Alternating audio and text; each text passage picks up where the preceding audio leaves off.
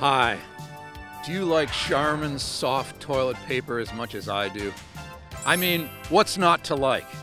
Why make toilet paper out of recycled paper when you can make it out of fresh cut trees? That's stupid.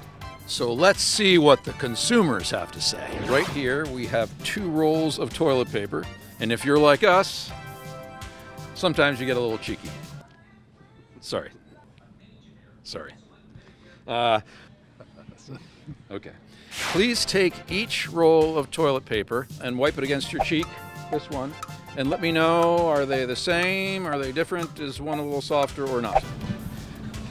No. They feel pretty similar to me. They feel about the same to me. Been a little difference, but nothing, nothing too great. Both get the job done, if you know what I mean. Yeah. Yeah. I don't see why not. One of these is made of 100% the Charmin, 100% fresh cut forests. Would you choose the 100% nasty recycled paper, don't know where that paper came from, or the freshly cut forest?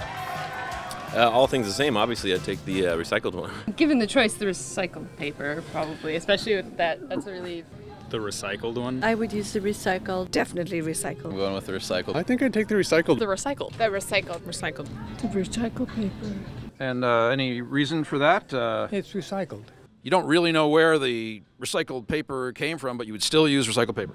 Yes. It's better for the environment. Which would you prefer? Well, the one that is recycled. Still the recycled. Okay. Yeah.